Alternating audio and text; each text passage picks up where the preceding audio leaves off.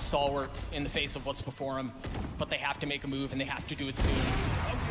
And they move GG. right into yay.